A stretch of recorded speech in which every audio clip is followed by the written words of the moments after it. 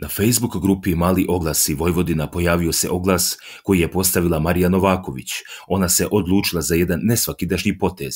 Nudi besplatnu kuću i platu od 20.000 dinara ozbiljnoj porodici ili paru.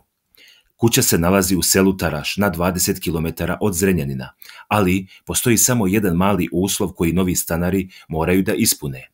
Samo treba da volite životinje, najviše pse i kuća je vaša. Oglas prenosimo u celosti. Potreban ozbiljan odgovoran par ili porodica za život na selu i brigu o psima. Stanovanje u kući je besplatno, plus plata od 20.000 dinara. Uslov je ljubav prema životinjama, pogotovo psima. Molim da me ne kontaktiraju oni koji od svega vide besplatno stanovanje plus platu. Znači, potreban je neko da odgovorno i sa ljubavlju brine o psima. Hvala, napisala je Marija Novaković na pomenutoj stranici. Ukoliko vam je potreban krov nad glavom i volite životinje, javite se Mariji Novaković što pre.